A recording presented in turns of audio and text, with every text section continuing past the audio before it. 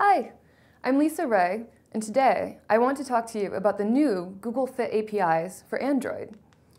Google Fit is an open fitness ecosystem that provides developers with a single set of APIs to discover, record, store, and read activity data with user permission.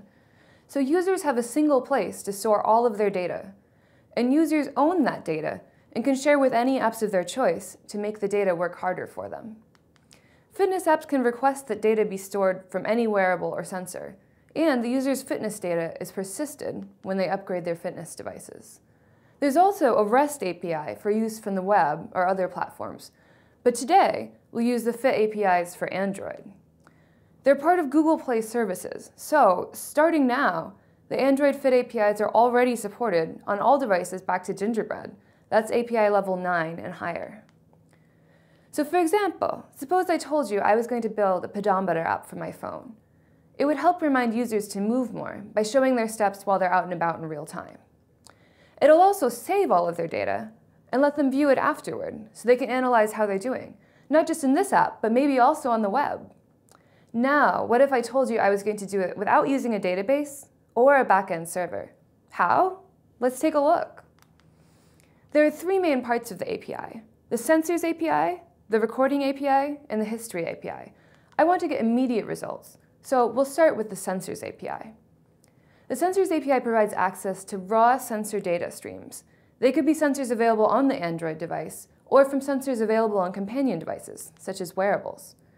For steps, Fit will use the step counter on the phone, or any connected wearable, whichever it thinks is most accurate. First thing, you need a Google account. If you don't have one, that's easy to fix.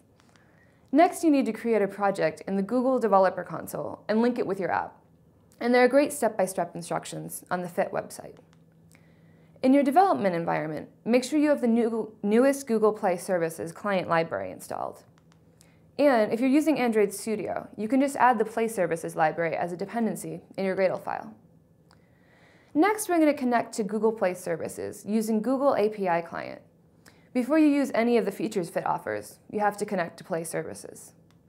We're going to select the Fitness API and add the read and write fitness scopes. These mean the user will be prompted to grant our app permission to access his or her data. Privacy is key here, so without that permission, our app won't work. Now, once we get a callback that the Google API client is connected, we can start calling the Fit APIs. Here's where the Sensors API comes in we use sensorRequest.builder to create a request to track the change in step count every second. Then we register the request, passing in a listener for the results, along with the Google API client. And more about that listener in a moment. Here's the listener. Now that we've registered, that listener will get a callback every second with fresh data. And we can update our display. We have a simple fitness app. Of course, when the user isn't looking at their phone, we should unregister the sensor, which we can do almost exactly the same way.